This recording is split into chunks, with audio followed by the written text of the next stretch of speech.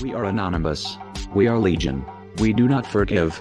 We do not forget us. Se realizó un hackeo en la banca El mexicana. robo informático que afectó al Banco de Chile por un monto de 10 millones de dólares. El Banco de México confirmó que el sistema de pagos electrónicos interbancarios fue hackeado. Este es el podcast de Creadores Digitales. Las noticias que importan de tecnología y seguridad de la información. Bienvenidos creadores digitales a este su podcast de tecnología y seguridad. Mi nombre es León Ramos y estoy aquí acompañado por Alina. ¿Cómo estás? ¿Cómo Bienvenida. estás, León? Muchísimo. Estoy muy contenta de estar contigo y pues a darle porque hay mucho trabajo el día de hoy. Sí, y de hecho, eh, pues tenemos noticias que se acumularon desde el domingo, que empieza con, con la parte interesante. Eh, y, pues otra vez con dolores la, la seguridad de las, eh, ahora sí que de los organismos gubernamentales, ¿no? Tú traes por ahí algunas cosas, pero eh, pues vamos con los encabezados para después ya pasar a las notas, ¿te parece? Claro que sí, León. Muy bien. Por ahorrarse unos pocos pesos, ¿la Secretaría de Economía sufrió un hackeo? Científico oaxaqueño confiesa ser espía ruso en Estados Unidos. ¿Un sistema operativo para el Internet de las Cosas? Y Assange podría ser extraditado a Estados Unidos. We are anonymous. We are legion. We do not forgive. We do not forget us. Se realizó un hackeo en la banca mexicana. robo informático que afectó al Banco de Chile por un monto de 10 millones de dólares. El Banco de México confirmó que el sistema de pagos electrónicos interbancarios fue hackeado. Este es el podcast de Creadores Digitales. Las noticias que importan de tecnología y seguridad de la información. Ay, pues están muy buenas, la verdad. Está tremendamente pesado el programa. Pocas, Híjole. pero muy densas. Sí, este programa, ¿sabes qué se me antoja? Este programa se me antoja como para que vayamos por nuestro rollo de aluminio y empezamos a hacer, empecemos a hacer nuestros gorros de aluminio porque los temas están densos, está como para teorías de la de favor, conspiración. sí, lo que seguramente sea. mucha gente estuvo llorando esta semana, al menos en México. Bueno, sí, sí, no, a, nivel mundial las noticias están, están rudillas, pero sí, sí tienes toda la razón. Entonces, si, si les gusta la parte de, eh, no sé, teorías de la conspiración y eso, esta es la emisión de noticias que no se deben de perder, porque creo que estamos eh, con unas notas muy buenas, ¿no? Muy interesantes.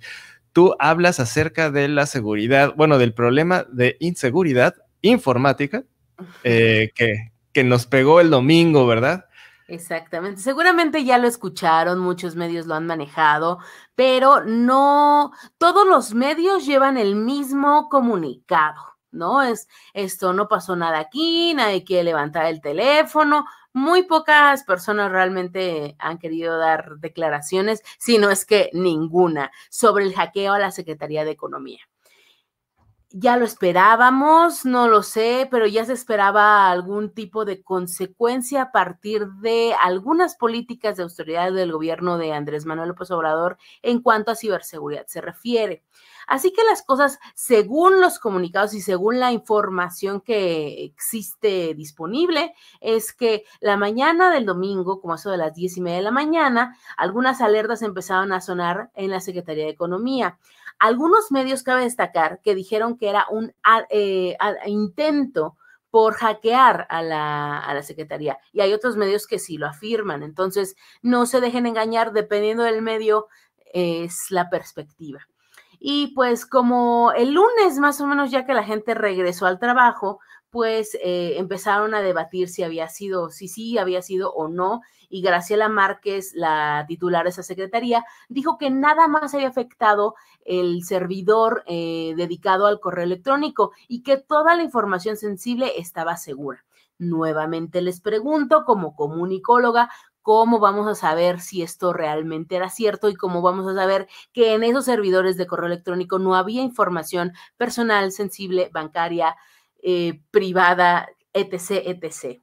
Así que, bueno, encontramos en la columna de Capitanes en Reforma el siguiente texto que dice, eh, se dice que el ataque cibernético ocurrido a la Secretaría de Economía el pasado domingo podría ser consecuencia de la austeridad gubernamental, pues se cree que no se invirtió lo suficiente en seguridad. Esto también lo entrecomillo. Qué es suficiente, qué no es suficiente.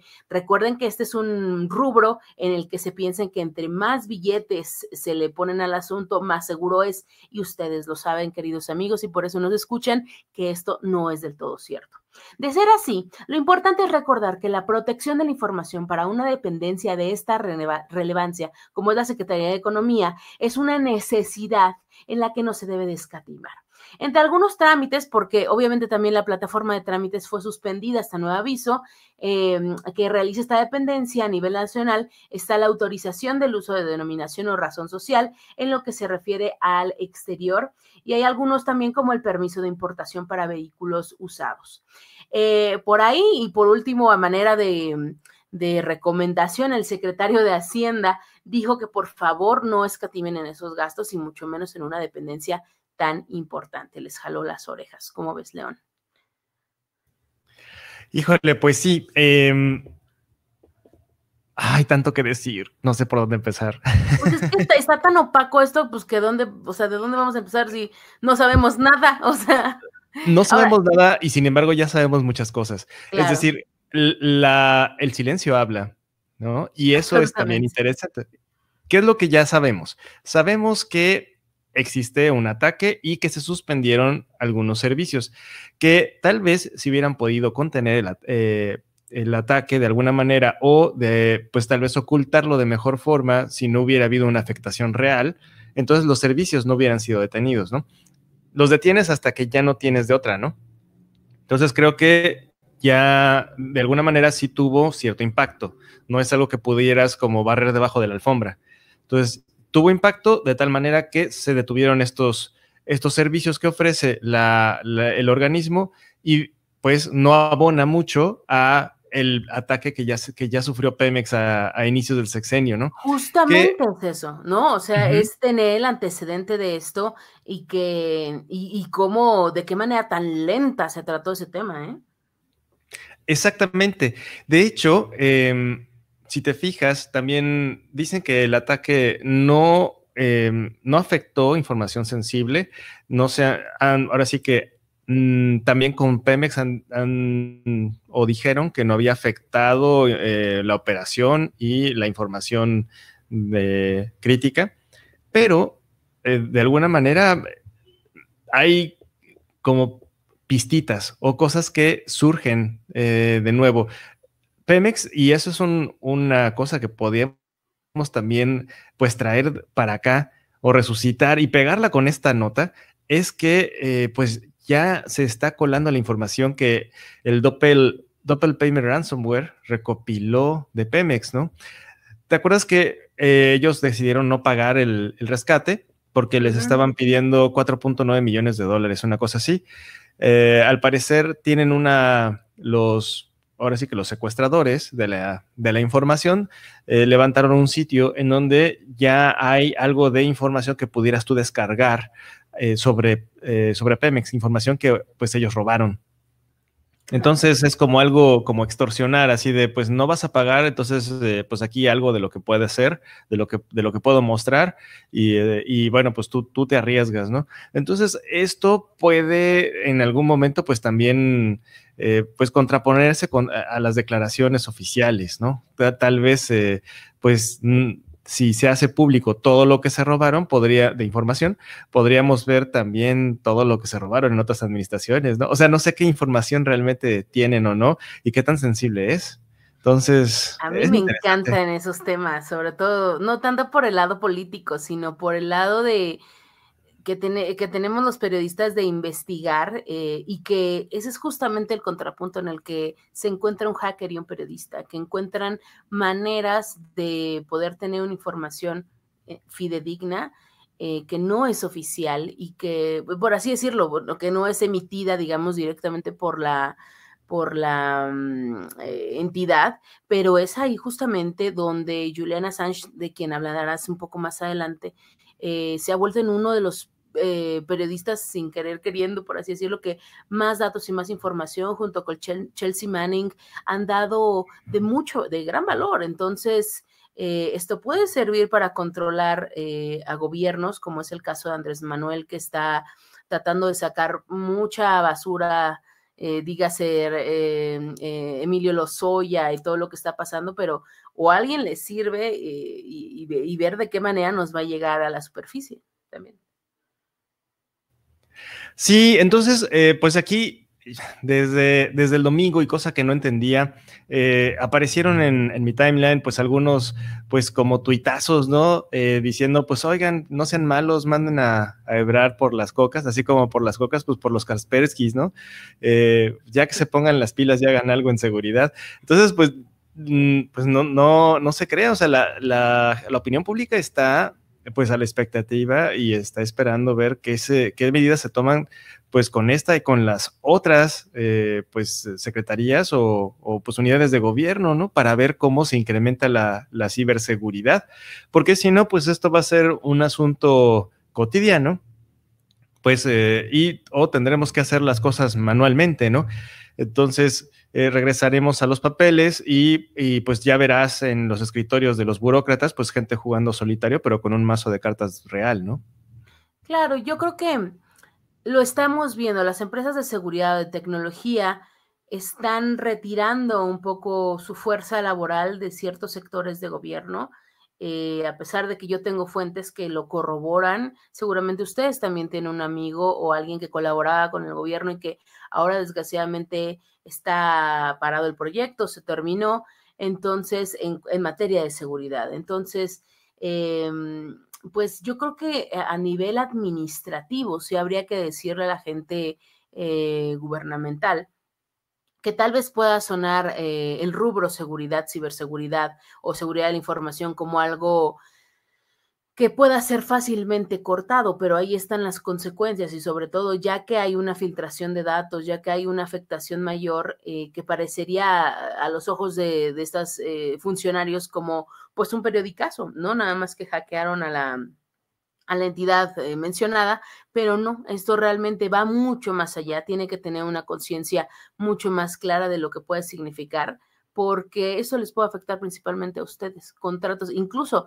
de, no necesariamente por un hackeo, pero una persona fue la que hackeó algunas cosas y algunos contratos eh, en el caso de Cambridge Analytica. Entonces, pues sí, les hackearon el correo y ahí ustedes tienen contratos, mails eh, importantes, nombres, este, incluso cadenitas, no sé, ¿no? Ahí está justamente la información, así que no, no descarten del todo ese tipo de, de gastos.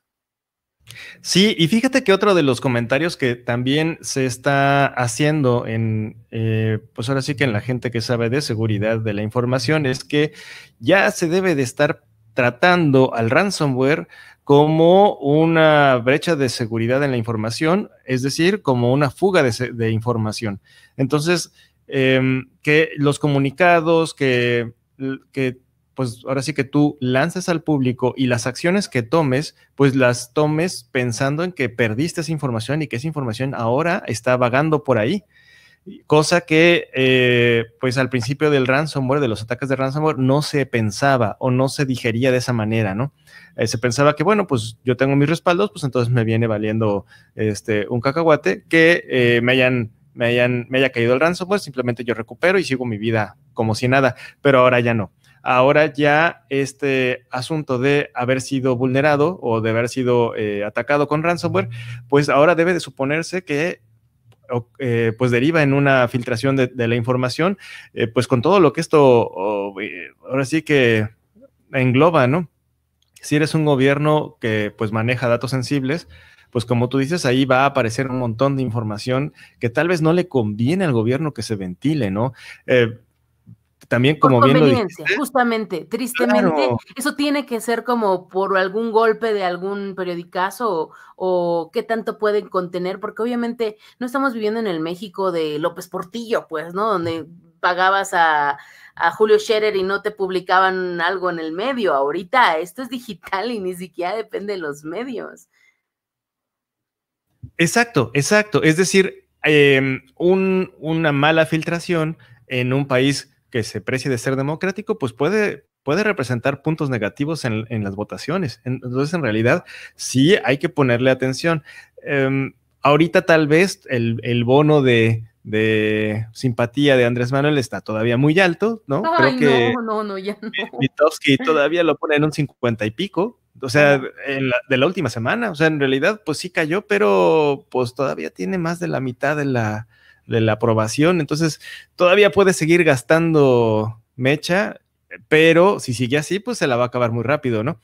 Eso ya es un tema más político, ya no es. No, yo entiendo, pero también fíjate que, que, es interesante hacer el contraste dentro de un concepto que muchos gobiernos pueden preciar, que es la austeridad.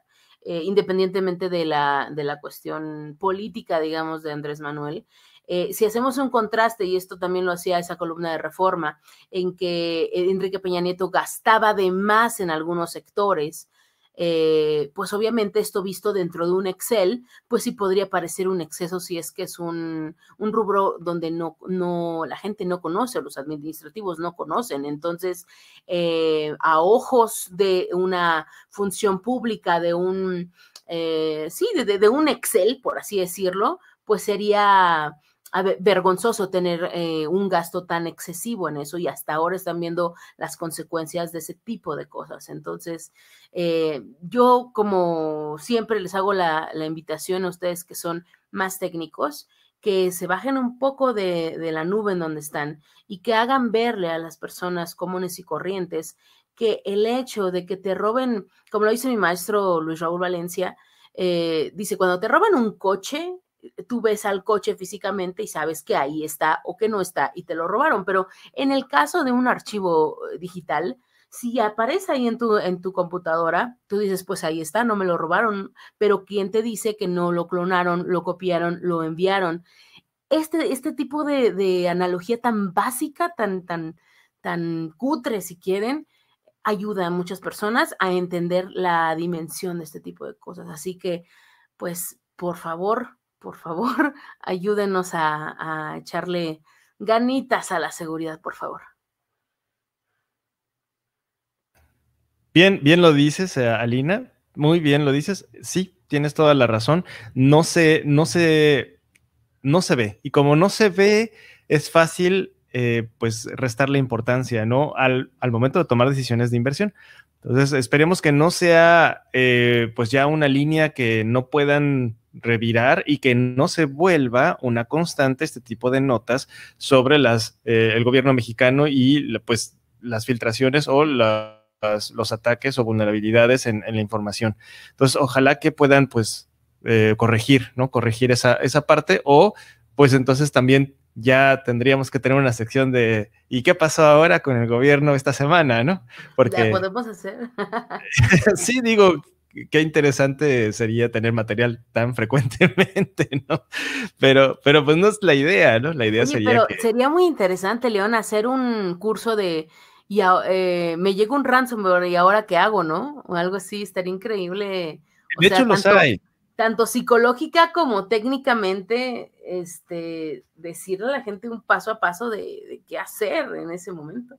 De hecho, los hay. Y creo que Sí, de hecho los hay y, de hecho eh, la intención yo creo que también es trabajar desde un poquito antes, trabajar desde eh, la prevención, ¿no? Así de, bueno, me llegó, me llegó un correo, eh, ¿es o no es legítimo? ¿Cómo puedo saber cuáles son las señales, etcétera, etcétera? Y nos hemos cansado de decirlo, Irán, que ahora no está con nosotros acá en, esta... Ah, un saludo, señorón, donde quiera que esté. nos hemos cansado de decirlo, pues que hay que hacer eh, por lo menos los cursos básicos de sensibilización de seguridad a nuestro personal. O sea, en realidad empezar por ahí y de ahí pues ya empiezas a hacer un track o un, este, pues ahora sí, toda una currícula de cursos de capacitación de ciberseguridad, pues un poquito más avanzados en, tu, en tus propias empresas, ¿no? Pero, o en tus propias organizaciones, pero pues sí hay que empezar pues desde, desde lo básico, oye, este, ¿de, de dónde sacaste esa OSB y por qué la estás metiendo en ese server, ¿no? Claro, y podrá parecer muy loco, muy raro, pero pues uno no sabe. Y, de hecho, insisto, libros como el de Anabel Hernández, que se llama, ay, se me acaba el nombre, este, que tiene que ver con el Mayo Zambada, se me acaba de ir, ahorita se los digo, eh, se han hecho gracias a, bueno, en este caso es a través de un, de un diario que, que hizo el hijo del Mayo Zambada, pero em, creo que sí, ciertas informaciones sobre dependencias, sobre gastos. Incluso recuerden el tema de lo de las toallas que se vio por, por función pública, por el IFAI, pero ese tipo de cositas después, miren, aparecen en libros, aparecen en entrevistas y van a salir eventualmente. Así que ahorita que me acuerde del nombre, se los digo porque eh, no lo tengo tan, tan fresco, pero el traidor se llama. Ah, ok, ok. Oye, pues ahora sí que regresando tantito a Doppel Leaks o a lo que le pasó a Pemex, si ustedes ya tuvieron la oportunidad de revisar el sitio, si lo han encontrado por ahí, yo lo busqué, no, no, logré, no logré dar donde estaban las filtraciones.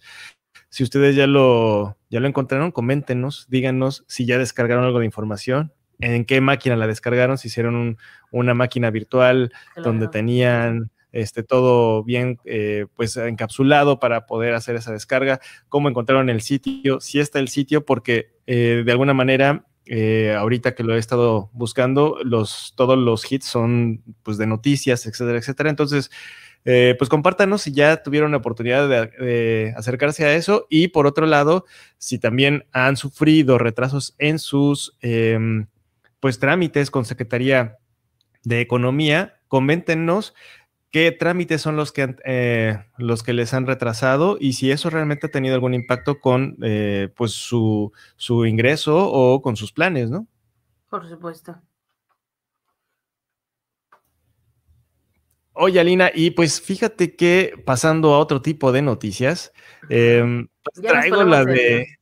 sí, ya, ahora sí. Si no se habían puesto su gorro de aluminio, es momento de ponerse el gorro de aluminio porque vamos a hablar de espionaje, vamos a hablar de Rusia, vamos a hablar de Oaxaca y vamos a hablar de Estados Unidos, todo en la misma nota. ¿Sabes qué nos falta, qué nos faltaría para que esto sea un cóctel? No sé. O sea, en realidad creo que está todo. Déjame contarte un poco. Panamá o alguno de esos paraísos fiscales, ¿no? Así. Que, seguramente por ahí, este, de, de refilón está, ¿eh? seguramente, pero déjenme contarles cómo está el asunto del doctor Héctor Cabrera Fuentes. ¿Esto dónde lo viste, por cierto? Bueno, pues es una nota que ha estado saliendo en diferentes medios. Me lo topé inicialmente en, Timeline, en, Twitter, y de ahí lo empecé a buscar en diferentes lugares y lo encontré, eh, pues ahora sí que refriteado eh, varias veces. Hay medios que nada más lo tocan eh, de forma muy, muy suavecita. lo que hice fue pues prácticamente ir cruzando información de varios lugares. Hay notas desde la BBC, Radio Fórmula, Aristegui Noticias, El Universal, o sea, sí hay lugares eh, diferentes y la mayoría agarra ya sabes, el comunicado y de ahí, pum, se empiezan a pirañar todos, pero hubo gente que sí hizo una investigación un poquito más a profundidad y eso me gustó. Y de ahí me empecé a armar este como pequeño rompecabezas, pero no me quise quedar con nada más eh, una de las notas, entonces quise darle un poquito de, pues ahora sí que de humanidad a esta persona para que conozcamos quién es y de dónde viene y cómo acabó siendo un espía ruso. Entonces, ¿qué te parece si te cuento algo acerca del doctor? Por favor, muero de ganas. Pues mira, él es originario del Espinal. El Espinal es una localidad en el istmo de Tehuantepec, en Oaxaca, ¿no? Entonces, imagínense el lugar, ¿no? Eh, imagínense Oaxaca y el istmo de Tehuantepec. Él estudió en la UAP, que es la Universidad, la Benemérita Universidad Autónoma de Puebla, ¿no? Entonces él para estudiar fue para allá. Posteriormente eh, logró hacer su, como su, su intercambio y terminó estudiando en la Universidad Federal de Kazán en Rusia. Posteriormente hizo una maestría en microbiología ahí mismo en Rusia y un doctorado en biología humana en la Universidad de Gießen en Alemania. O sea, ya te hablando del doctor eh, Héctor Cabrera. Héctor Cabrera Fuentes. Ya te, ya te imaginas el calibre de persona, ¿no? Es decir, es una persona que, eh, pues, tiene una carrera, tiene no solamente eso, sino doctorados y habla diferentes idiomas. Es decir, estás en Rusia y de ahí te vas a Alemania. O sea, de alguna manera tienes que hablar por lo menos ruso y alemán, además del español, ¿no? Claro. Hay algunos medios que dicen que es el doctor zapoteco.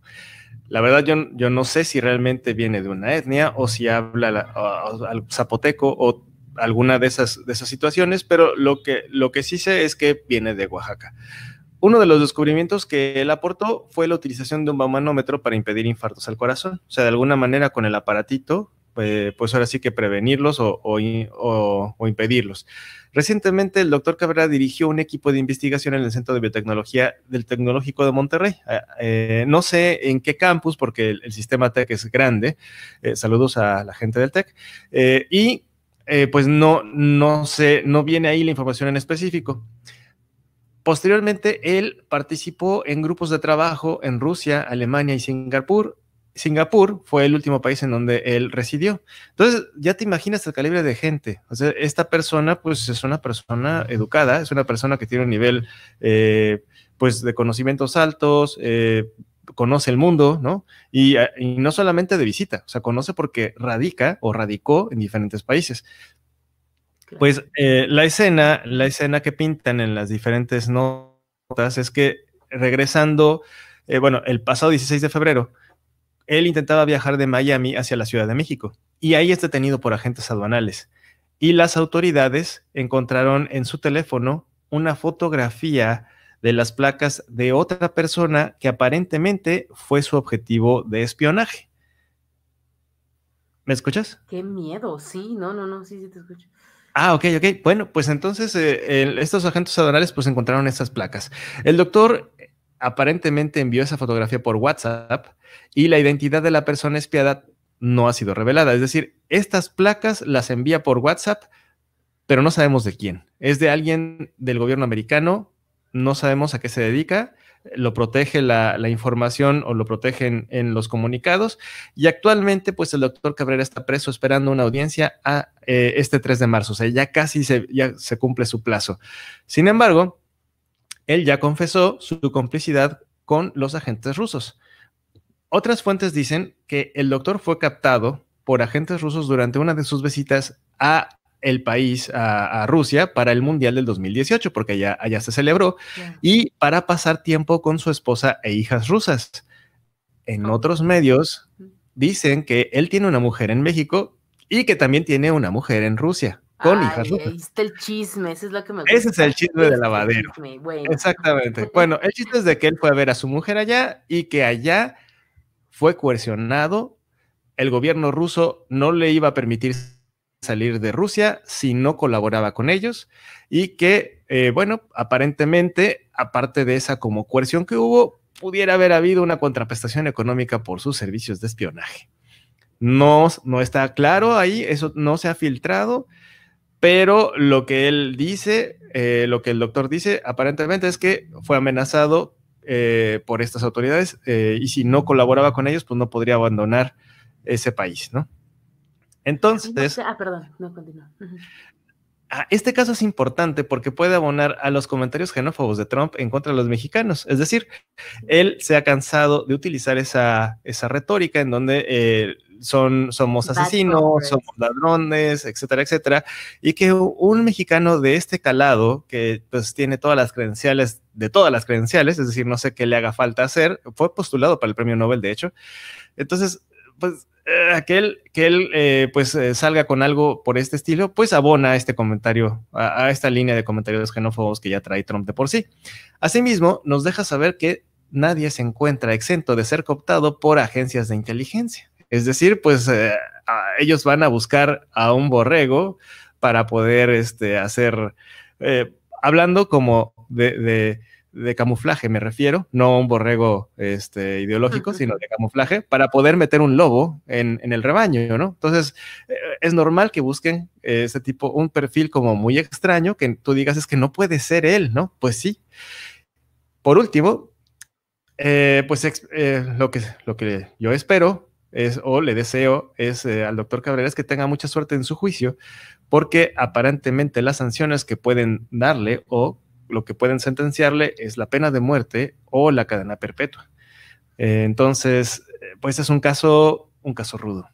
¿Cómo, ¿Cómo, ves todo esto, Alina? Es un perfil muy interesante y buscándolo, pues bueno, tiene, ha tenido becas eh, de investigación, obviamente, y tiene un perfil, como tú dices, muy, muy alto, colaborando incluso entre, como mencionabas, de Singapur, llevando agave allá con, con apoyo del gobierno, o sea, tiene un perfil tremendamente social y, científico y pues no esperarías eh, ese tipo de, pues no de comportamiento, por así decirlo, pero pues lana no le falta, ¿me entiendes? O sea, no creo que lo haya hecho por esos, esos motivos, eh, y mucho menos si tiene mucha, mucha familia, igual y ya no le alcanzaba, pero, pero es un perfil muy, muy, muy intrigador y, y pues sí, es, es tremendamente importante lo que se puede encontrar en el celular.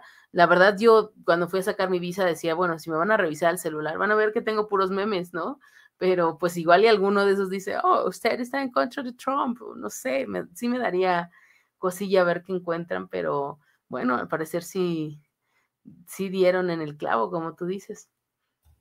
Sí, sí, sí. Eh, pues mira, eh, la verdad es que también creo que él no, no este, cubrió mucho sus pasos, ¿no? De alguna manera. O sea, tal vez no, no hizo la chambita de eh, pues ser un poquito más profesional o no tomó la maestría en espionaje, ¿no?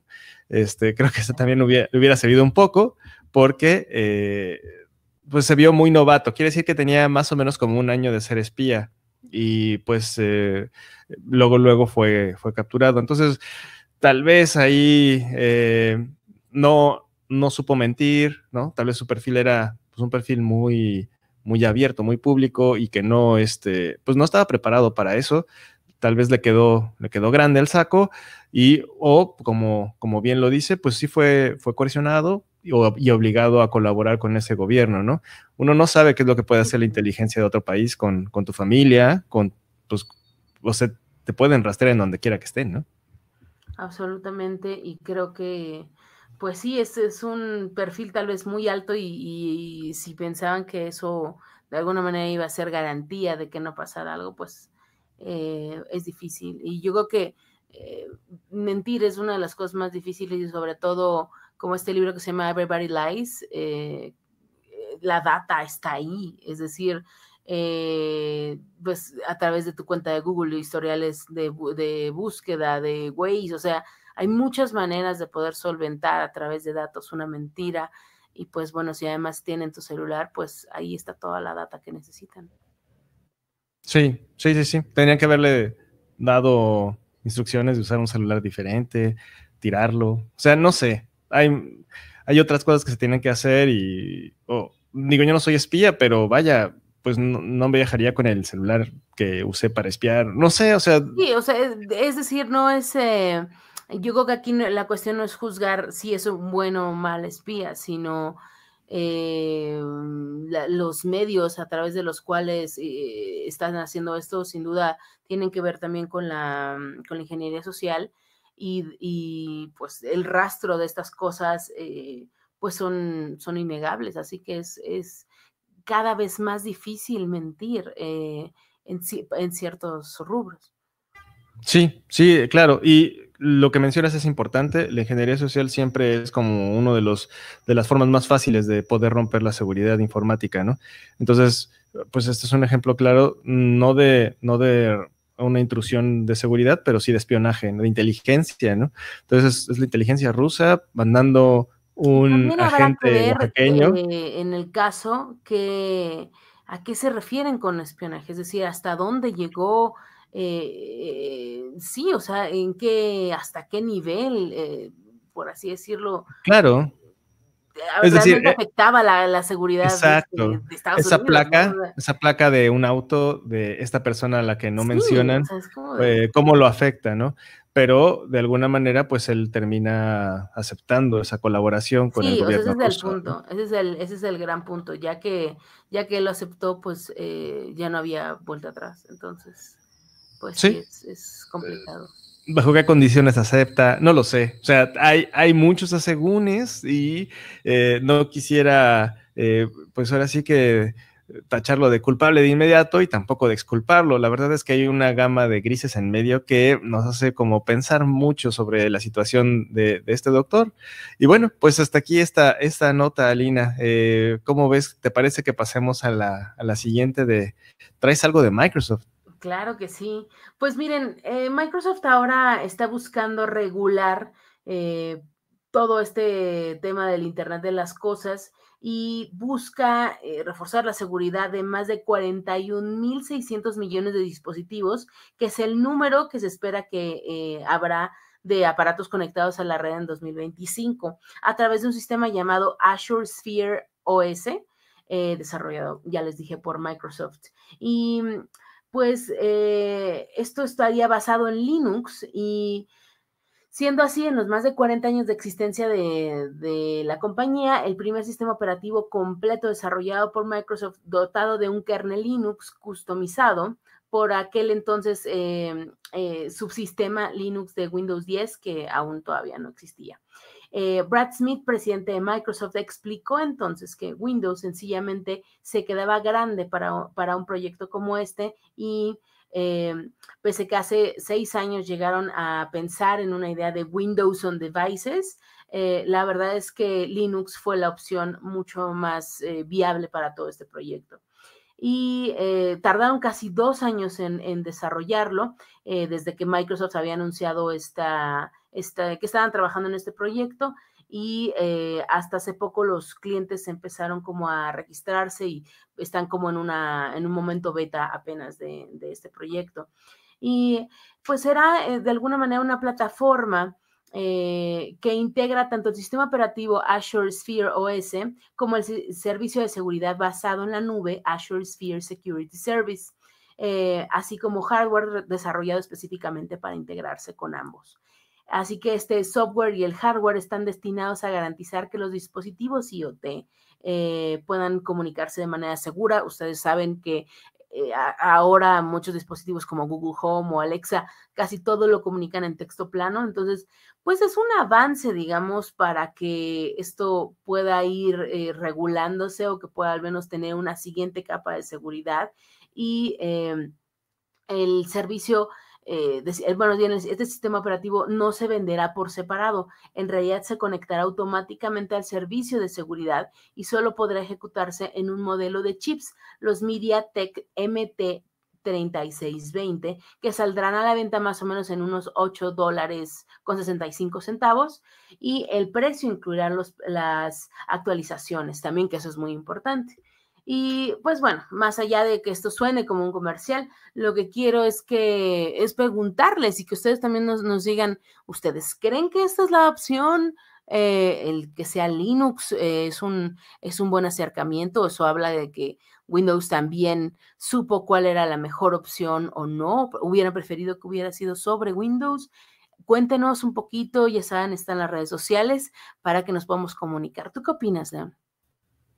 Pues yo opino que es una decisión bastante buena. Eh, no porque sea pro Linux desde siempre y, y pro software libre. gustar la nota por eso, sí, sí. sino porque eh, pues hacerlo funcionar con un sistema Windows embebido es como preguntarle al auditorio cómo meter un elefante en un jarro. Es decir, pues, no cabría. Y por otro lado, eh, pues tampoco es tan seguro. Entonces creo que una buena opción es ir por este camino. Em, ¿Qué es lo que me gusta del, proyecto? Es que lo ven como un todo. Eso sí me gusta. ¿Qué tiene? Pues eh, por lo que estaba revisando, tiene todas las capas. Tiene desde la parte baja, que es los, dispositivos con el procesador. Tiene eh, la nube, el servicio que van a ofrecer y el aplicativo para gestionarlos, ¿no? También, eh, ¿qué es otra cosa interesante? Pues es que están usando estos procesadores que, como bien mencionaste, los MediaTek 3620. Y eh, estos muchachones están basados en una ARM Cortex A7. Eh, ese, ese procesador ya está muy trabajado con sistema Linux que corre sobre ARM, es algo muy, muy, este, pues usado. ¿qué, ¿Cuál sería tal vez ahí mi, mi asegún que de alguna manera creo que pudieran haber eh, pues mejorado o podrían haberse visto todavía un poco más visionarios, sería tal vez ya ir reemplazando, reemplazando ARM, la arquitectura ARM por algo como un RISC-5. Eh, RISC-5, ¿qué es? RISC-5 es un procesador que tiene todo su set de instrucciones es completamente abierto, a diferencia de ARM. ¿Cuál, es, ¿Cuál es el punto aquí? Que cuando eh, Huawei tuvo un problema con Estados Unidos y que Trump los vetó. Eh, ¿Te acuerdas que eh, todas las empresas tecnológicas le empezaron a quitar la licencia para poder eh, tener la tecnología americana en sus dispositivos. Claro. Entonces, una de ellas fue ARM, de tal manera que amenazaba el futuro, la futura liberación de sus, de sus dispositivos. Entonces, ARM es tecnología tal cual con licencia americana. Eh, esto hace que todo este ecosistema pues se tenga que alinear con la geopolítica americana. O sea, ya lo vimos, no es algo que yo me esté inventando con una plática de aluminio. Eh, Trump sí, sí te puede decir, deja de usar mi servicio porque tiene ARM, ¿no? Entonces, eh, esto senta un precedente y tenemos ahora en China y en India desarrollos con RISC, RISC 5, que son, te digo, estos procesadores que su, set de instrucciones es completamente abierto. Eh, es, eh, tú puedes fabricar ese, ese procesador si tuvieras la tecnología. Y creo que eso sería algo todavía mucho más como, como digerible, ¿no? Entiendo que la tecnología de fabricación es más barata con ARM de, en, en, este momento y por eso eh, más comercial, por así decirlo, y por eso creo que es la decisión. Eh, pero me gusta, me gusta lo que, lo que están mostrando, me gusta este ecosistema. Es raro que yo diga que me gusta Microsoft porque casi no es así, pero eh, pues tiene, pues tiene ya una visión completa de lo que es el, la interacción. Para la gente que es maker y que hace IoT, pues, ¿por qué no se dan una vuelta por el sitio, se dan una vuelta por lo que, por lo que están publicando y nos dejan sus comentarios acerca de que, de qué, pues, qué les parece, ¿no? Esta, esta solución. Hay una nota, eh, ahora sí que de, mercadote de mercadotecnia en la, en la página, y hablan acerca de que tiene una defensa en profundidad, ¿no? Como Deep Security, una cosa así, no sé cómo lo, uh -huh. lo, pusieron en inglés, que lo tradujeron en español, la defensa en profundidad, que proporciona varias capas de protección para salvaguardar los, los dispositivos frente a amenazas y responder a ellas. No sé qué sea eso, no sé en qué lugares está esta seguridad, pero me gustaría investigar un poquito más acerca de cómo está guardando pues el tráfico, ¿no? Esperemos que no vaya, como tú lo dijiste, en otros dispositivos, completamente plano, ¿no? Claro, absolutamente. Y yo creo que eh, pues habrá que preguntarle a, a, Iván, ¿no? El que entrevistamos, a ver qué opina y que, eh, o no, perdona, las personas de Andrés. Electrónico Cats, perdón, exactamente. Andrés Abbas, ajá. A ver qué opina de eso. Y y también te quiero invitar este, a después hacer algún especial de qué pasó con Huawei en cuestión de seguridad. Si, si esta salida de, o este, esta pelea con Trump también ponen en riesgo a los usuarios de Huawei que queden en el mundo, ¿no crees? Pues eh, es probable. La verdad es que eh, por lo que está ocurriendo, eh, cada compañía cada gran compañía pues está filtrando información para su, para su país. Eh, y es una frase o es también una reflexión que ya habíamos tenido en algunos otros podcasts, eh, pues era, eh, el asunto no es si te van a espiar o no, sino para qué gobierno lo van a hacer. Si escoges un Huawei, pues sabes que eh, tu metadata lo tiene China, ¿no? Si escoges eh, Cisco, pues sabes que tu metadata la tiene Estados Unidos, ¿no? Entonces depende de quién. Como la noticia que, vimos, ¿no? CryptoNG, que pues se supondría que encripta las, las comunicaciones diplomáticas y pues resulta que los filtraba la CIA, ¿no? Entonces, híjole, pues ya no es un asunto de si te están eh, eh, espiando o no, sino ya es un, parece ser que es una práctica pues muy normal, normalizada de los grandes corporativos, pues pasarle bola a sus gobiernos, ¿no? Claro. Sí, yo más bien eh, lo analizaba como en, en, el hecho de tener una entidad, como tú mencionas, reguladora, ¿no? Que tuviera al menos algunos estándares de calidad, visto por ese lado, ¿no? También, pero eh, incluso con las aplicaciones que se pueden descargar o no de la App Store, o, o sea, ese tipo de cosas eh, que, que Huawei está haciendo su propio sistema operativo en ese sentido y que, pues la verdad es que no tiene unos parámetros de seguridad como los que tienen otras aplicaciones, pero tienes mucha razón, o sea, al final es la, el, el, jalar eh, agua a su propio molino. ¿no? Sí, sí, al final del día creo que creo que eso es lo, que está pasando. No sé si, por ejemplo, los grandes gigantes coreanos también tengan algo así. No lo sé. Eh, ahí sí no ha salido tanto a relucir, pero eh, lo que es China, Kaspersky ya también fue vetado de, del gobierno de Estados Unidos, ¿no? ¿Te acuerdas? Eh, para- pues por filtrar información a- al gobierno ruso. Eh, bueno, ya con la nota anterior ya nos dimos cuenta de que Rusia tiene inteligencia y la está usando, ¿no? En Entonces, Oaxaca, con tlayudas.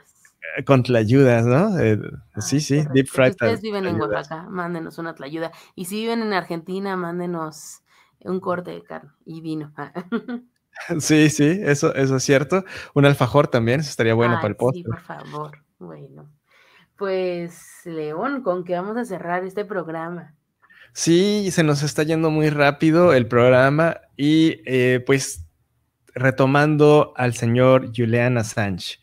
Eh, ya viene, está, está enfrentando su, su juicio y pues eh, el problema es que tenemos tantas noticias de, de informática y seguridad que se nos ha opacado todo, ¿no? O sea, te- así de repente salió esto y de repente el otro y perdimos de foco al señor Julian Assange.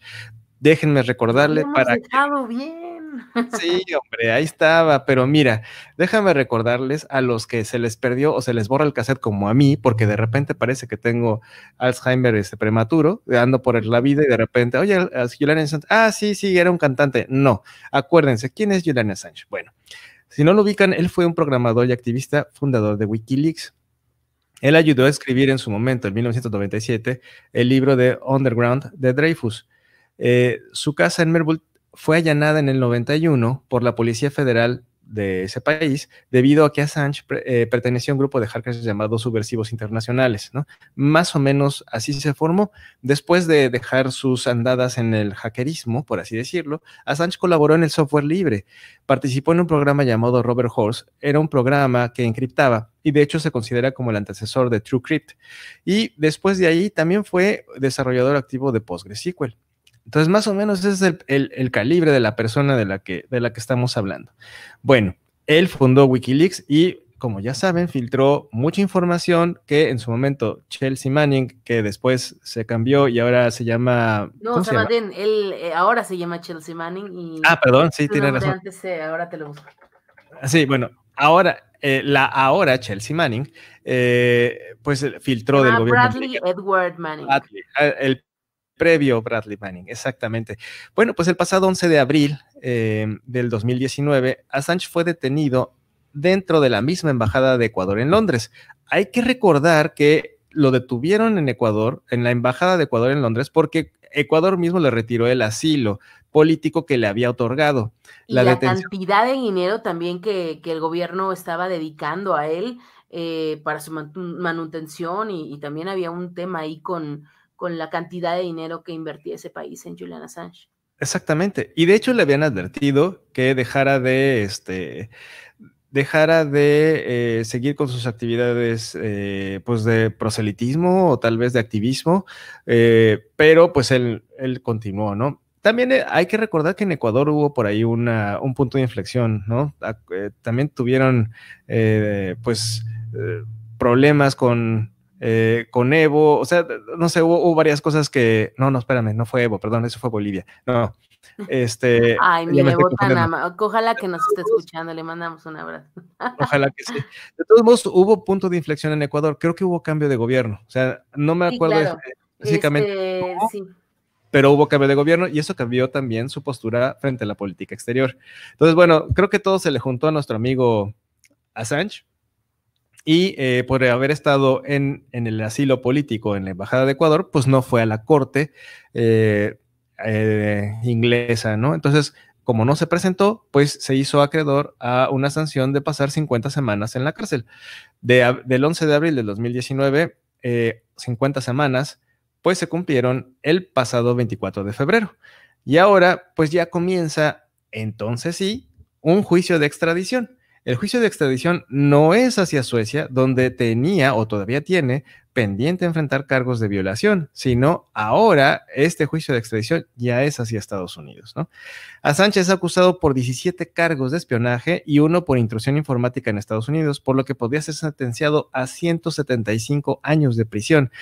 Es decir, eh, pues sí, es una sentencia de muerte según sus padres, bueno, su padre que ha estado presente en, en el juicio.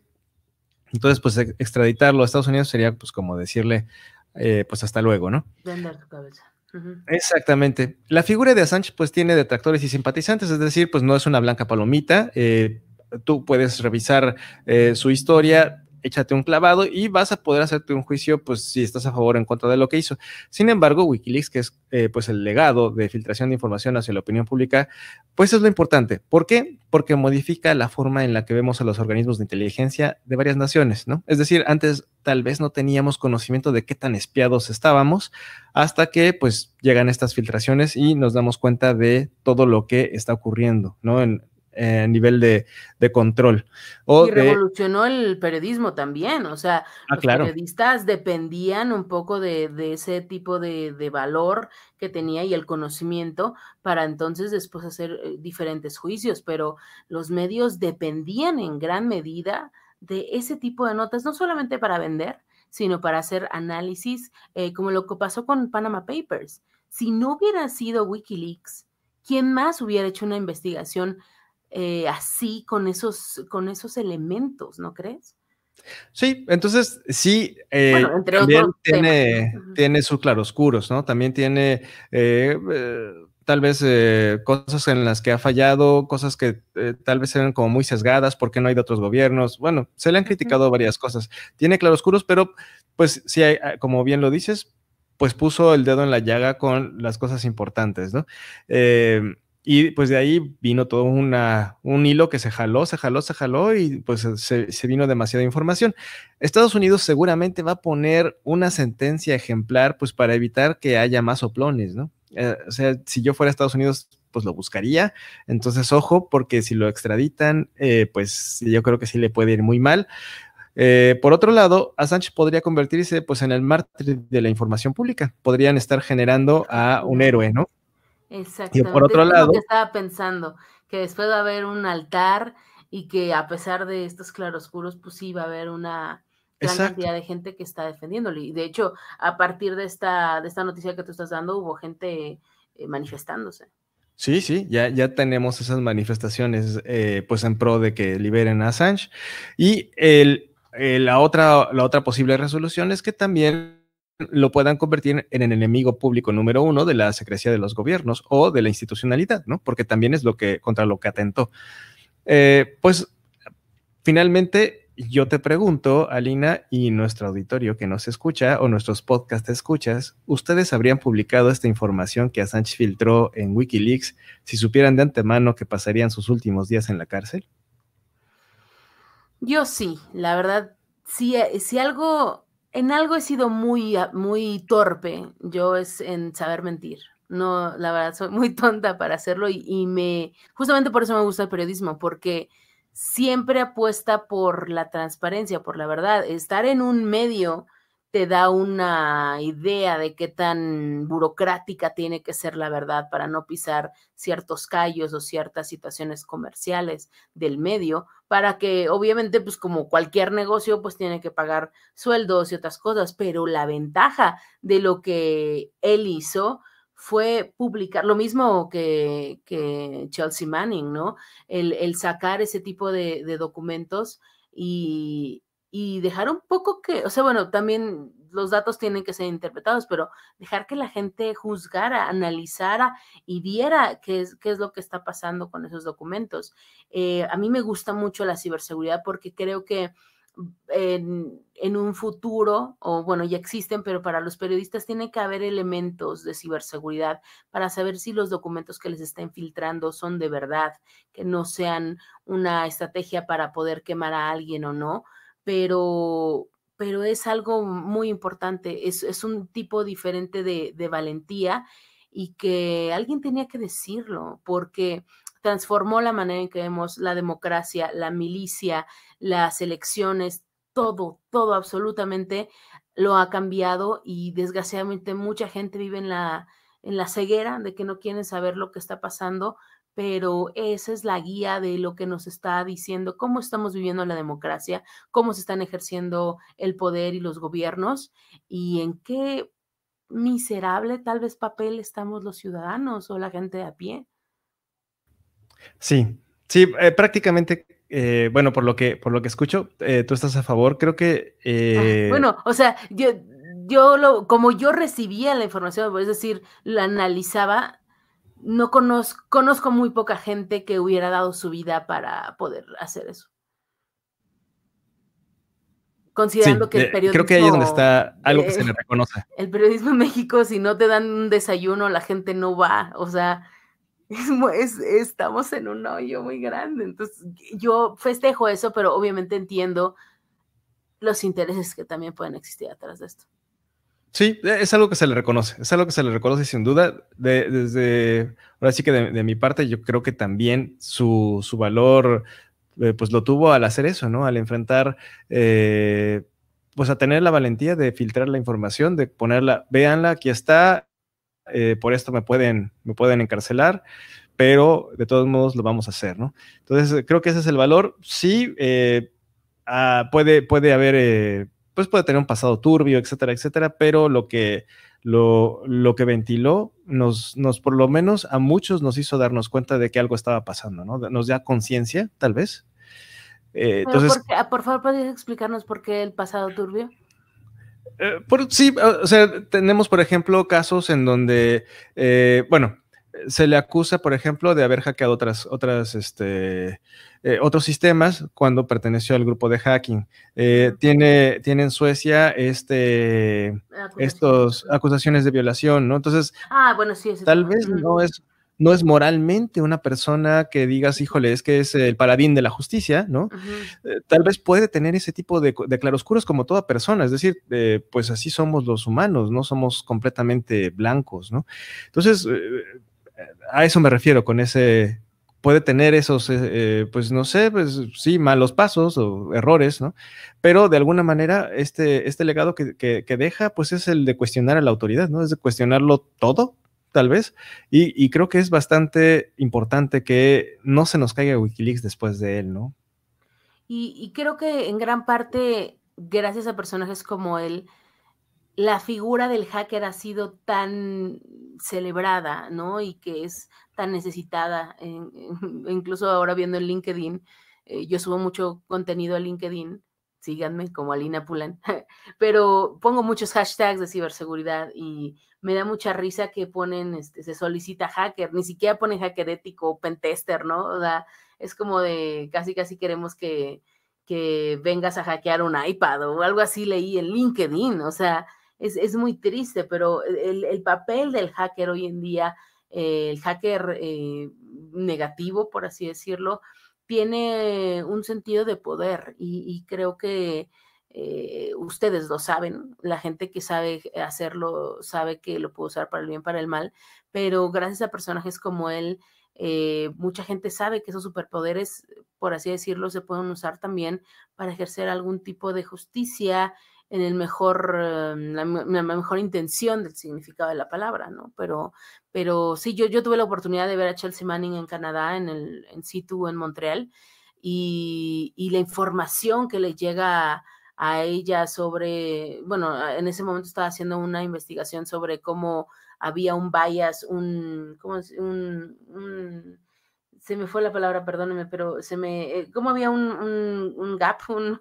un, sesgo, digamos, de la información en, eh, al momento de usar el facial ID, es cuando tú em, registras tu cara con el celular y alguien puede decir, ok, quiero contratar solamente gente de este de este tipo de color, ¿no? Entonces, como el celular ya tiene ese tipo de información, se estaban usando para incluso también poder reconocer a personas transgénero y poder hacerlas como un lado entonces, la, información que ellos están recolectando, tal vez en pequeñas dosis o, eh, en otros proyectos y, los, y las comunidades en las que están relacionadas, están haciendo otras cosas y se despertó algo, eh, una horizontalidad que hace mucho no teníamos como, como sociedad.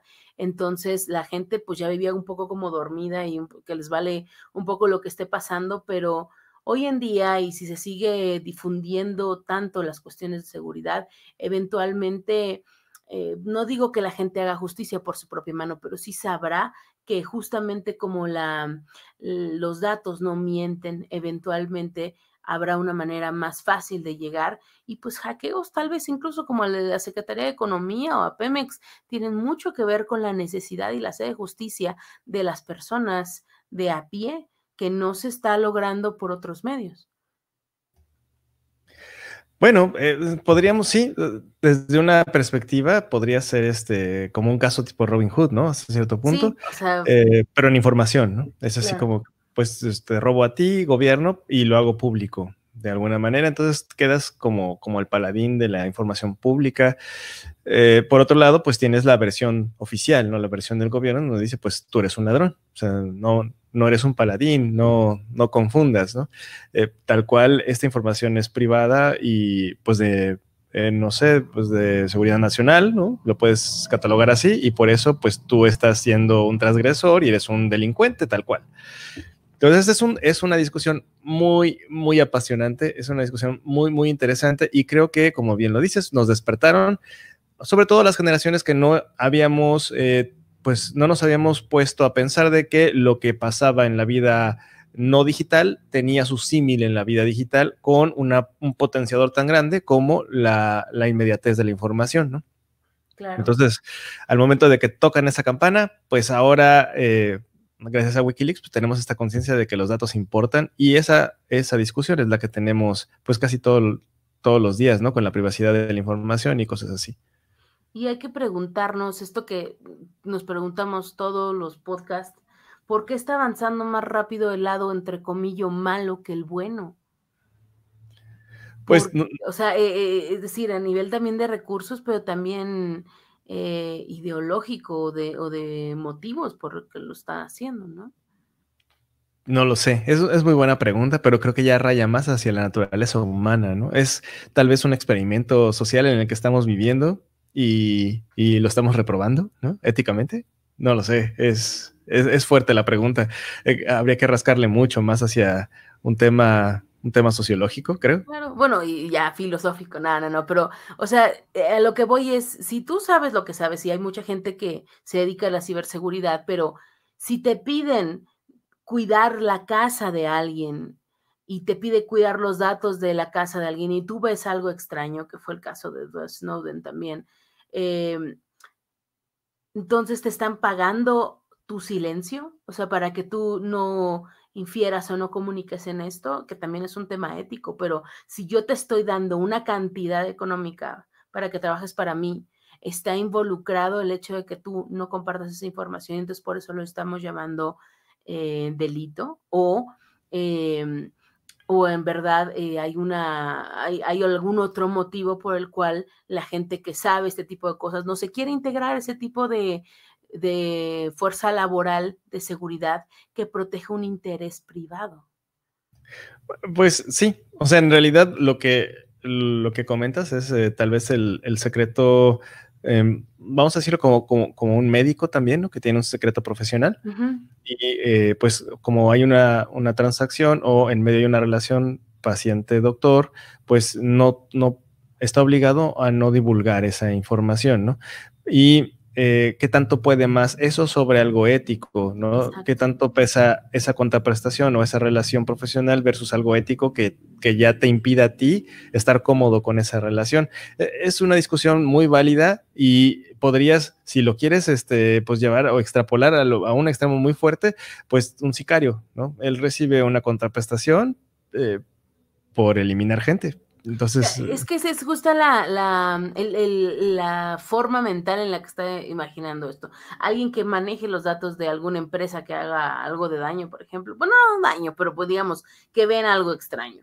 Entonces tendría que ser como una máquina en la que no distinguen lo que, lo que tiene que ser, solamente pasan el dato y no lo juzgan, como, pues como tú bien dices, un sicario pues no, no distingue, no hace nada y eh, yo solamente ejecuta y se acabó, ¿no? Entonces, eh, esa sería entonces la, la, figura que tendríamos que tener o la, el deber ser de, de, alguien de seguridad que simplemente no juzga, ejecuta y se va a su casa, ¿no?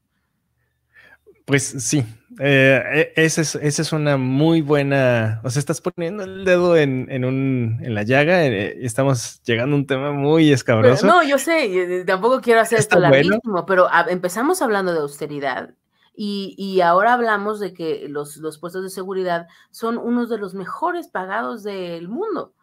¿Por qué razón? O sea, obviamente por las skills que deben de tener, las habilidades, pero también un poco por eso. Eh, por lo que está en juego. Exactamente. y, Sí, por, sí. y por cómo tienes que tratarlo. Creo yo que, o sea, haciendo nada más el contraste y el cierre de estos dos, dos puntos, porque estoy muy segura que todo este brote de nuevos diplomados en las universidades privadas sobre ciberseguridad tiene mucho que ver con, con el tema económico, sobre cuidar los intereses del negocio, que es una de las primeras cosas que te dicen cuando estás estudiando esto, pero ¿para quién? Ese es el tema. Entonces, cuando tú le dices a alguien, oye, tienes todo esto, pero es para cuidar al patrón, pues hay gente que simplemente no quiere hacerlo, ¿no? Sí, sí, prácticamente es una, una disciplina eh, que como todas otras, eh, mientras más dinero tengas, pues más seguridad puedes pagar, ¿no? Al final del día, más eh, puedes contratar eh, gente con mejores, eh, con mayor nivel, ¿no? Mejor especialización. Entonces, eh, digo, igual que en el resto de las disciplinas humanas, hay, hay ventajas económicas, ¿no? Para el que, para el que tiene dinero. Claro. Entonces, pero, pero es un tema muy interesante, muy apasionante. ¿Ustedes qué opinan? ¿No? Déjenos Ustedes tienen mucho dinero, por favor, llévenos de vacaciones. Ese es el Ándale. Comuníquense con nosotros al 55. Díganos qué les parece Wikileaks. ¿Les cambió la vida? ¿No les importa? Eh, ¿No les parece interesante que, lo que hicieron? O si les parece trascendente lo que, lo que es Wikileaks para el mundo, ¿no? Claro, ¿y cómo va a pasar a la historia Juliana Sánchez? ¿Cómo se Ajá, para ustedes es un héroe un villano. biografía en la papelería de la esquina? Exacto, héroe villano, ¿no? ¿Tú dices héroe? Yo digo, ay, yo sí, la verdad, sí digo que no. Digo, para, para no desentenar, yo también diría que, que un héroe o una no, persona más llévame la pendiente. contra, está ¿eh? bien, llévame la contra. No, no, me gusta Wikileaks. La verdad sí, sí hizo su, su chamba y nos dio mucho que pensar, ¿no? Bastante, bastante y seguirá, porque, porque alguien más seguirá también con eso. Y... Esperemos que sí, esperemos que sí. Y, y bueno, Alina, pues hasta aquí llegamos con nuestras noticias de la semana. Te agradezco muchísimo que hayas estado aquí acompañando. Este, Gracias a ti, un saludo muy grande a Iram, que estará de regreso la próxima semana. Y, y también estamos trabajando en el especial de neutralidad de la red. Espérelo, por favor, y compártalo, porque quedó bastante bueno. exactamente, espéralo por ahí. Les recuerdo nuestras redes sociales, eh, creadores digitales. Búsquennos por ahí, en todos lados estamos. Eh, creo que nada más no tenemos Instagram, es lo único que nos Estamos falta. trabajando en ello, estamos trabajando Ahí en ello. tenemos. Esperemos que esta semana ya tenemos Instagram. Entonces ahí conéctese. LinkedIn, tenemos que estar en LinkedIn también. Ah, bueno, ahí tampoco tenemos. Ah, ya ves, me estás No, ventaneando. no, no, pues. ya, nos vamos a poner las pilas. Sí, sí, sí, pero estamos en está demás. creadoresdigitales.com, ahí pueden encontrar todos los podcasts sin necesidad de que tenga Spotify o cualquier otro administrador, ahí pueden encontrar todo. Sí, sí, y si tienes YouTube, YouTube Premium, alguna cosa así, ahí está YouTube también. Ahí dale, seguir, todo eso. Yo la- soy las- del 1% del mundo que tengo YouTube Premium y me, y me da pena. Ah, no, está bien, yo también lo tengo y, y me gusta porque puedo escuchar algunos podcasts ahí con solo Y audio, ¿no? la pantalla, apagas la pantalla, es, solo- esa como, es el commodity, ya. sea, pero sí, creo que no mucha gente lo usa, pero bueno, está bien. Bueno, pues eh, te agradezco mucho, Alina, y eh, a ustedes, Gracias. creadores, por acompañarnos en esta emisión. No me queda nada más que decirles que hasta la próxima, creadores. Hasta la próxima, creadores. We are anonymous. We are legion. We do not forgive. We do not forget us. Se realizó un hackeo en la banca Este mexicana. robo informático que afectó al Banco de Chile por un monto de 10 millones de dólares. El Banco de México confirmó que el sistema de pagos electrónicos interbancarios fue hackeado. Este es el podcast de Creadores Digitales. Las noticias que importan de tecnología y seguridad de la información.